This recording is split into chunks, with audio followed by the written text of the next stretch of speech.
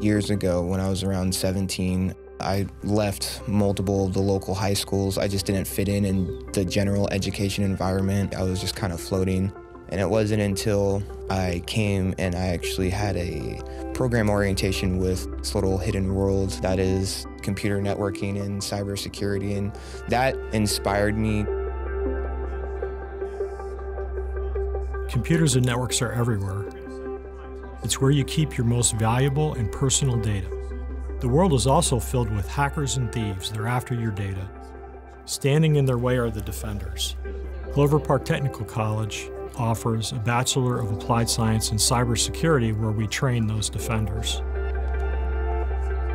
I've worked with Security Operations Center professionals and every time I show them my assignments that I'm doing, they think it's the coolest thing. They're like, I wish I could be doing this. This is what we need more of.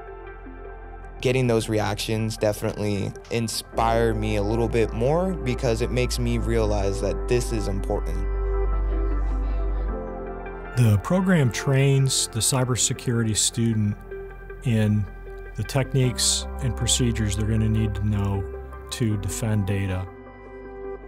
Anything that we study, any concept that we study, we're going to do something in the lab that actually employs that concept.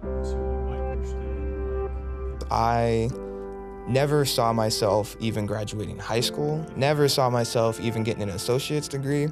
This is the first time where I truly do see myself doing this all the way. It has definitely improved a lot of my self-confidence and my ability to not be afraid to put myself out into the world.